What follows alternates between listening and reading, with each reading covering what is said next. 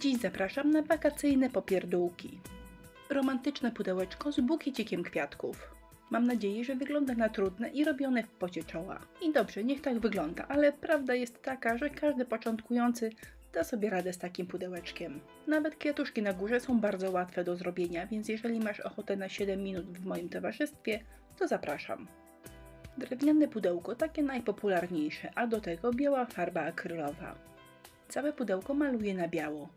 Górę i środek maluję dwa razy, bo chcę, żeby te miejsca wyglądały perfekcyjnie. Wierzch pudełeczka będzie zdobiła podkładka pod kubek. Ją też maluję białą farbą, ale tylko jeden raz. Potem przemaluję na niebiesko. Dół pudełka ozdobię serwetką, taką zwykłą papierową serwetką obiadową. Serwetka zwykła, ale wzór przecudny. Pocięłam ją na pastki mniej więcej szerokości dołu pudełka, a następnie rozwarstwiłam, ponieważ jest mi potrzebna w tej chwili tylko jedna górna warstwa serwetki. Serwetkę przyklejam klejem do dekupaż. Przygotowany kawałek serwetki jest za duży, ale tak ma być. Jak wszystko przykleję, a następnie wysuszę, obszlifuję to papierem ściernym. Klejem przyklejam wyłącznie z góry, a ta serwetka jest cudowna, bo nawet jeżeli wyjdą na niej jakieś zmarszczki, to nie będzie tego widać.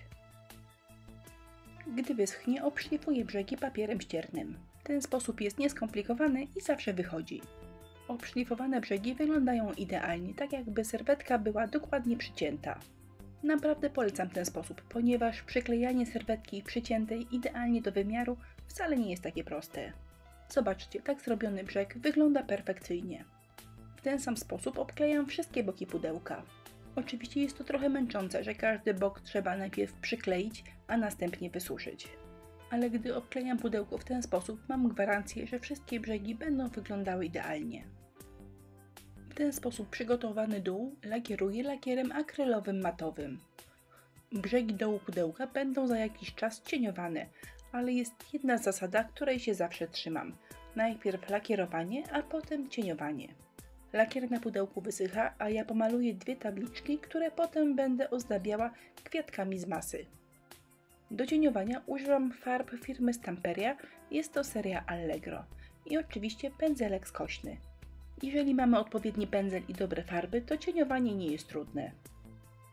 Wystarczy wymieszać farby na talerzyku i możemy objechać boki. Na dużej podkładce oprócz boków pomalowałam jeszcze środek. Właśnie w tym miejscu przykleję potem kwiatki i chodzi o to, żeby błękitny nie prześwitywał między listkami.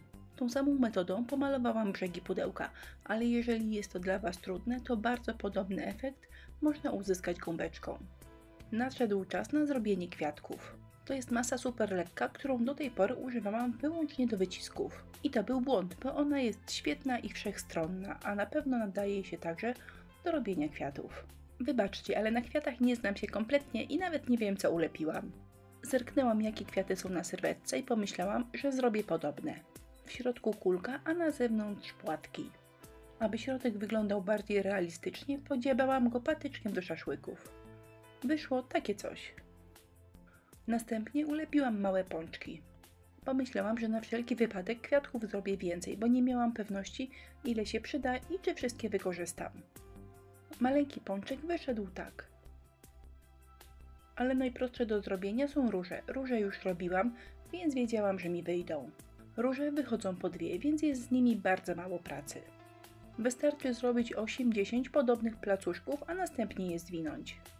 W ten sposób na każdym końcu powstaje jedna różyczka, a po przecięciu mamy gotowe dwie. Wystarczy wywinąć płatki i jak na taką małą ilość pracy nasza różyczka prezentuje się znakomicie.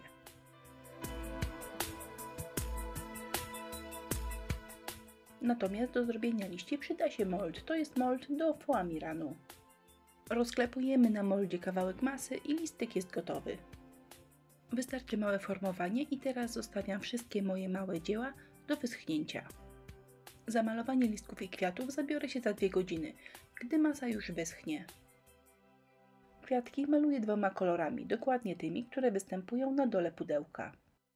Farby bardzo mocno rozwadniam, dzięki temu ładnie rozkładają się na liściach i tworzą od razu światło cienie.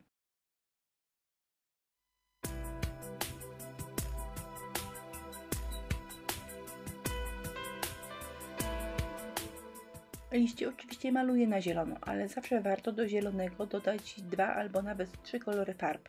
Wtedy wyglądają najładniej. I jeszcze raz biała farba akrylowa. Po pierwsze pomaluję nią nóżki, które w tej chwili nie odpowiadają mi kolorem. A przy okazji pobielę także różyczki i listki.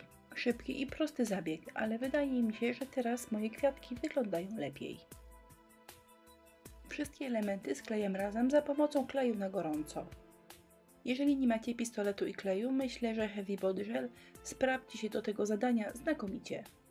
Filmie czas leci szybko, ale sprawdziłam i sklejenie tego bukieciku do kupy zabrało mi 10 minut.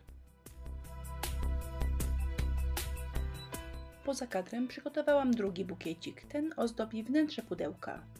Przykleję podkładki z bukietami i nareszcie zrobię jakieś kropki. Kropeczki były planowane od początku i mówiąc szczerze, to się już za nimi stęskniłam. Nie pasowały mi w kilku ostatnich pracach, ale teraz to już nie popuszczę i kropeczki robię. Tym razem jako kropidło wystąpił patyczek do szaszłyków. A jako wisienkę na torciku proponuję gałeczkę oraz chwost.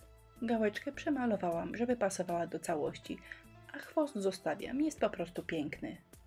I gotowe, a romantyczne pudełeczko z bukiecikiem kwiatów prezentuje się tak. Myślę, że większość z Was ogląda moje filmy dla sportu, czyli od tak, dla zabicia czasu, ale mam nadzieję, że są też takie osoby, którym pomysł się spodoba i go wykorzystają. To by było super. Jak zwykle listę produktów, które użyłam w filmie zamieściłam w jego opisie. A wszystkim, którzy dotrwali do końca, dziękuję za uwagę. Zapraszam do naszego sklepu i na inspirello.pl.